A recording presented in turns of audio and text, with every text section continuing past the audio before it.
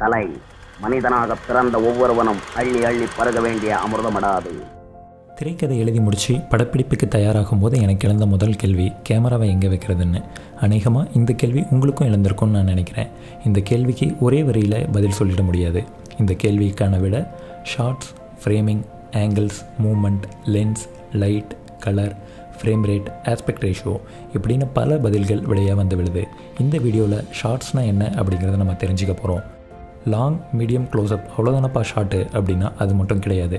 Cowboy choker head and shoulder clean single இப்படின்னு ஏகப்பட்ட விஷயங்கள் இருக்குது எந்த உணர்வுக்கு எந்த ஷாட் பொருத்தமாக இருக்கும்னு நீங்கள் தேர்ந்தெடுக்க இந்த வீடியோ உங்களுக்கு நிச்சயம் உதவும். இனி வரக்கூடிய ஒவ்வொரு வாரங்களையும் ஒவ்வொரு டெக்னிக்கல் விஷயங்களை நம்ம தெரிஞ்சுக்கலாம். கேமராவுக்கும் சப்ஜெக்ட்டுக்கும் உண்டான அதிகபட்ச இடைவெளியை எக்ஸ்ட்ரீம் லாங் ஷாட்டை வரையறுக்குது. எக்ஸ்ட்ரீம் லாங் ஷாட்டோட ஃப்ரேமில் சப்ஜெக்ட் மிக சிறிய அளவையும் சுற்றுப்புறம் பெரிய பங்கையும் எடுத்துக்குது. பின்னணி சூழலோட ஒப்பிடுகையில் சப்ஜெக்ட் மிக சிறியதாக தோன்றும். உங்கள் சப்ஜெக்ட் தொலைதூரத்தில் இருக்குதுங்கிற உணர்வை காட்டுறதுக்காகவும் அந்த நபரோட அறிமுகம் இல்லாத உணர்வையும் சுற்றுப்புறத்திற்கும் அந்த நபருக்கும் உண்டான தொடர்பை வெளிப்படுத்துறதுக்கும் இந்த எக்ஸ்ட்ரீம் லாங் ஷாட்டை பயன்படுத்த முடியும்.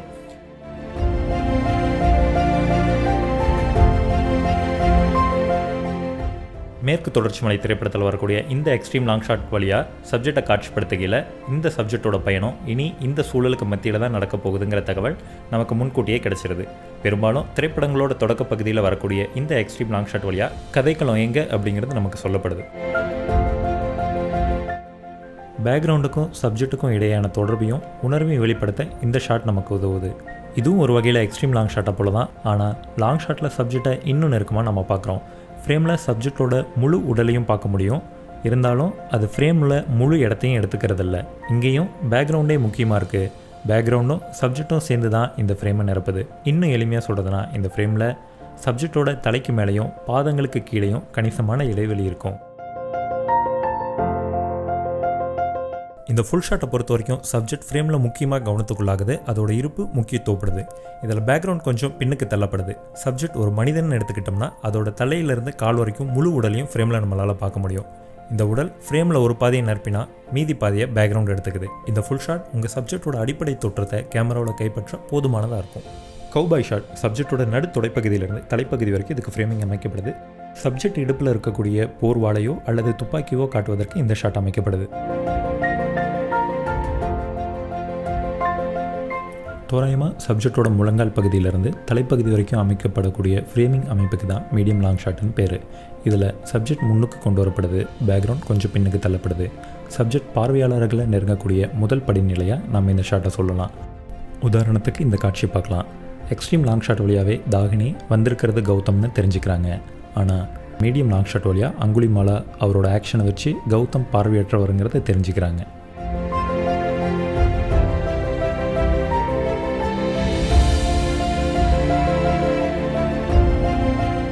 இந்த ஷாட் உங்கள் சப்ஜெக்டை இன்னும் விரிவாக வெளிப்படுத்தும். பார்வையாளர்களுக்கு இன்னும் நெருக்கமாக அறிமுகப்படுத்தும். மீடியம் ஷாட் கூட கிட்டத்தட்ட கௌபாய் ஷாட் எடுப்பது போல தான் ஆனால் ஃப்ரேம் தோராயமாக சப்ஜெக்டோட இடுப்பு பகுதியிலிருந்து படம் பிடிக்க ஆரம்பிக்கும். இது சப்ஜெக்டோட இருப்பை மேலும் வலியுறுத்தும். அதே வேளையில் காட்சியோட தேவையை பொறுத்து பேக்ரவுண்டும் இதில் ப்ளே பண்ணுது. அஞ்சாதை திரைப்படத்திலிருந்து இந்த காட்சி பார்ப்போம். சத்தியவானுக்கு கிருபா கிட்டிருந்து வந்த கால் அதிர்ச்சி அளிக்குது. அதில் சத்தியவானோட உணர்ச்சிகள் நமக்கு வெளிப்படுது. அதை இன்னும் நெருக்கமாக காட்ட மீடியம் ஷாட்லேருந்து மீடியம் க்ளோஸ்அப்க்கு போகிறோம்.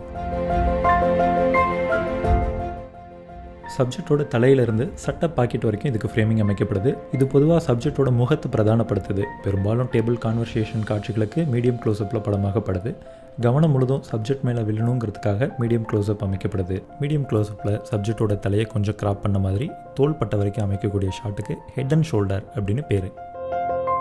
ஓகே கண்மணி திரைப்படத்திலிருந்து இந்த டேபிள் கான்வர்சேஷன் சீனை பார்ப்போம். கான்வர்சேஷன் மீடியம் க்ளோஸ்அப் ஷாட்டில் நடக்குது. அதிர்ச்சியூட்டுற செய்தி கேட்ட உடனே சப்ஜெக்ட்டுக்கு மீடியம் க்ளோஸ்அப்பில் இருந்து க்ளோஸ்அப்கான காட்சி வருது. அது ஃபேக் நியூஸ் அப்படின்னு சொல்லப்பட்டவுடனே மீண்டும் இயல்பு நிலையான மீடியம் க்ளோஸ்அப்புக்கு திரும்ப வரும்.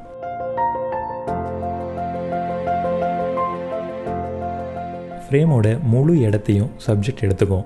உங்கள் சப்ஜெக்டை இன்னும் நெருக்கமாக பார்வையாளர்களுக்கு காட்டவும் தனிப்பட்ட முறையில் அடையாளப்படுத்தவும் அது கடத்தின உணர்வை அழுத்தமாக பதிய வைக்கவும் க்ளோஸ்அப் பயன்படுது. சாப்பாட்டுக்கு எப்படி உப்போட அளவு முக்கியமோ அது போல தான் க்ளோஸ்அப்பும் சோக்கர் அப்படின்னா கழுத்துப்பட்டைன்னு பொருள். தலையிலிருந்து கழுத்து தொண்டை பகுதி வரைக்கும் அமைக்கக்கூடிய ஷாட்க்கு சோக்கர் அப்படின்னு ஒரு பேர் இருக்குது பொதுவாக சப்ஜெக்டோட கண்களுக்கோ அல்லது வாய் பகுதிகளுக்கோ தான் இந்த எக்ஸ்ட்ரீம் க்ளோஸ்அப் வைக்கப்படுது. வாலி திரைப்படத்தில் வரக்கூடிய இந்த காட்சி எக்ஸ்ட்ரீம் க்ளோஸ்அப் ஷாட்டுக்கு ஒரு மிகச்சிறந்த உதாரணமாக சொல்லலாம். இத்தாலிய இயக்குனரான சர்ஜூலியோனி தன்னோட கௌபாய் படங்களில் அதிகமாக எக்ஸ்ட்ரீம் க்ளோஸ்அப்பை பயன்படுத்தினதுனாலேயே ஐரோப்பிய நாடுகளில் இதுக்கு சர்ஜிலியோனி ஷாட்டுன்னு ஒரு பேர் இருக்குது சில சந்தர்ப்பங்களில் நம்ம இது போன்ற பொருட்களுக்கும் நம்ம எக்ஸ்ட்ரீம் க்ளோஸ்அப் காட்ட வேண்டியது இருக்கும். இதை நம்ம எக்ஸ்ட்ரீம் க்ளோஸ்அப்னு சொல்ல தேவையில்லை. இதை நம்ம எஸ்டாப்ளிஷ்மெண்ட் ஷாட்டுன்னு சொல்லலாம்.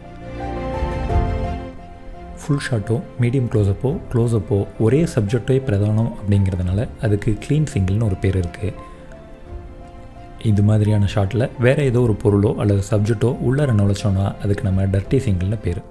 இப்போது ஷார்ட்ஸ் பற்றி உங்களுக்கு ஒரு ஐடியா கிடச்சிருக்கும் நம்புகிறோம் இதை தொடர்ந்து ஃப்ரேமிங்கான வீடியோ நெக்ஸ்ட் பகுதியில் பார்க்கலாம். அதுக்கு முன்னாடி இந்த வீடியோவோட இறுதி பகுதியில் சின்ன கிளிப்ஸ் கொடுத்துருக்கோம். அது என்னென்ன ஷார்ட்ஸ் அப்படிங்கிறத நீங்கள் கீழே கமெண்ட் பண்ணுங்கள்